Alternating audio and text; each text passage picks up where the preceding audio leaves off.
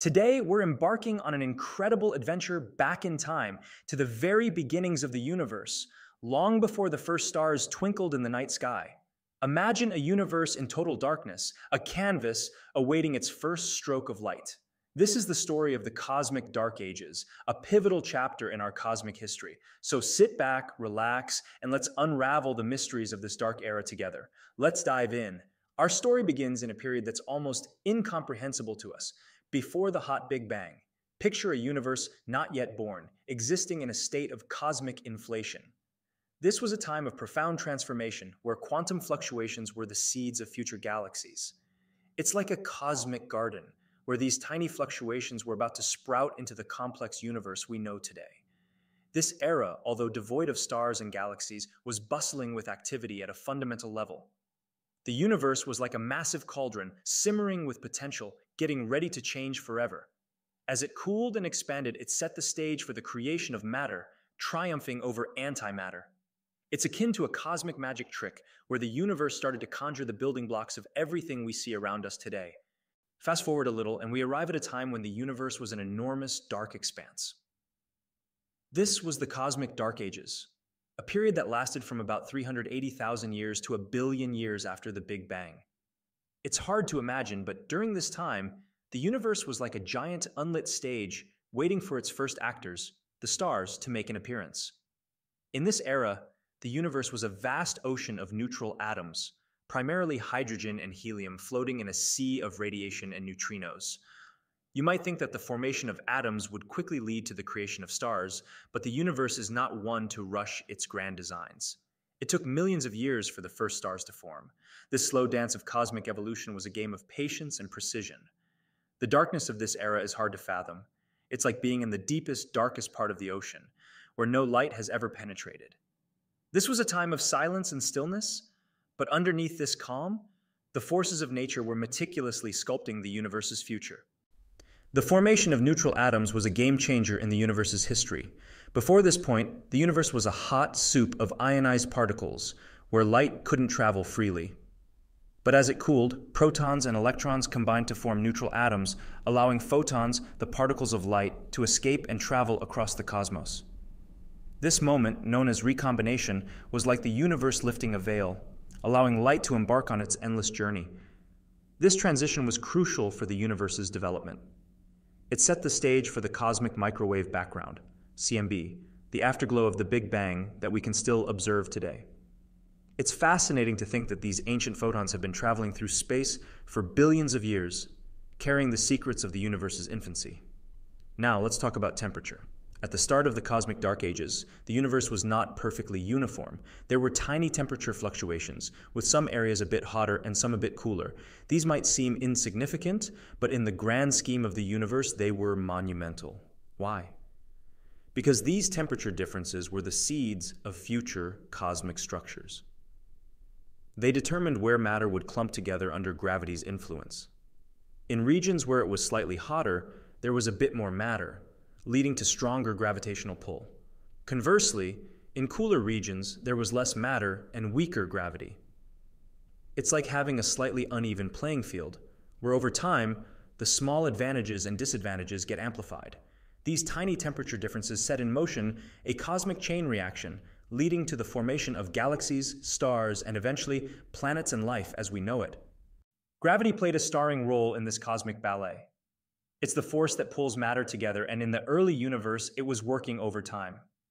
In regions with more matter, gravity was stronger, pulling in even more matter from surrounding areas. This process was gradual but relentless. Imagine a snowball rolling down a hill, gathering more snow as it goes. That's what was happening in the universe, but on an unimaginably vast scale. These denser regions were like cosmic snowballs, growing larger and larger as they attracted more matter. But there's a twist in our story. While gravity was pulling matter together, radiation was pushing back. The universe was filled with photons, particles of light, which exert pressure. This radiation pressure acted like a cosmic brake, slowing down the collapse of matter into denser clumps. It's a delicate balance. On one hand, mm. gravity is trying to pull everything together, while on the other, radiation is trying to keep things apart. This tug of war was crucial in determining how the universe evolved. It's like a cosmic dance, where each partner is trying to lead. In the midst of this cosmic dance, hydrogen played a vital role. Hydrogen is the simplest and most abundant element in the universe, and during the cosmic dark ages, it was the main actor on the stage. Hydrogen atoms, made of one proton and one electron, can have their spins aligned or opposite. When the spins flip, the atom emits a photon of light at a specific wavelength, known as the 21 centimeters line. This might sound like a small detail, but it's hugely important. These 21 centimeters photons are like whispers in the dark, carrying information about the conditions in the early universe. By studying these signals, we can learn about the distribution of matter, the temperature of the gas, and even the influence of the first stars and galaxies. It's like having a time machine that lets us peer back into the universe's dark ages. We can't see this period with our eyes, but we can listen to its echoes through these faint hydrogen signals.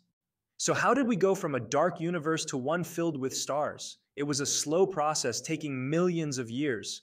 As the universe expanded and cooled, the radiation pressure decreased, allowing matter to clump together more easily. But it wasn't just a matter of waiting for things to cool down. The process of star formation is complex and requires just the right conditions. You need dense clumps of gas, but you also need them to be cool enough for gravity to overcome the pressure and start the process of nuclear fusion. It's like making a campfire. You need the right amount of wood and the right conditions. If it's too windy or the wood is too spread out, you won't get a fire. In the cosmic dark ages, the universe was patiently setting up the perfect campfire for the first stars, the inevitable birth of stars. Finally, after hundreds of millions of years, the conditions were right for the first stars to form. These weren't like the stars we see today. They were massive, bright, and short lived, burning through their fuel quickly and exploding as supernovae. The birth of the first stars was a turning point in the universe's history. They lit up the cosmic dark ages, ending the era of darkness and kickstarting the process of galaxy formation. These stars synthesized heavier elements, seeding the universe with the building blocks of planets and life. It's like a grand fireworks display, where each star is a burst of light and energy, transforming the universe around it. These first stars were the ancestors of all the stars we see in the sky today including our own sun. And that brings us to the end of our journey through the cosmic dark ages. It's a period that's hard to imagine, a time of darkness and silence, but also of immense importance. It set the stage for everything that came after, from the first stars to the galaxies, planets, and life itself. So, next time you look up at the night sky, remember the cosmic dark ages Remember the billions of years it took for those stars to form and the incredible journey the universe has been on. It's a story of patience, persistence, and the incredible power of nature. Thanks for joining me on this cosmic adventure. If you enjoyed this journey through the early universe, don't forget to like, share, and subscribe for more explorations into the wonders of our cosmos. Keep gazing at the stars and wondering about the mysteries of the universe.